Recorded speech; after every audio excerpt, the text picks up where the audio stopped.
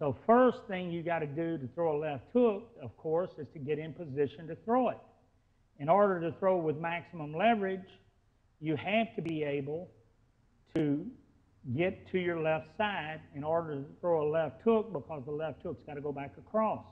So how you do that, again, starts from the ground up. You turn your right heel out, turning your knee in, hip forward, elbow forward, shoulder forward, hand forward, and takes you over your left knee on the ball of your left foot. Let's do that again. This is all it is, right here. It's like falling to your left knee. Notice how my height changed from here to here?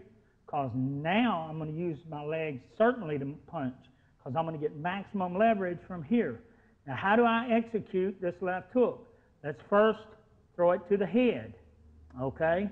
I'm over my left foot. All I have to do, and I'm on the ball of my left foot, is turn my left heel out, my right knee in, my left hip across, my left shoulder across, my left elbow and my left hand comes across. Now I'm going to throw it right here. So I'm going to throw it. Boom. Now here's how you can tell if you do it right. You're going to fall here. Now listen to my heel hit the floor just as this punch lands. Hear that? Hear that? Hear that? That means that all my weight is landing the end of this punch. Turn your right heel out, turn your left heel out.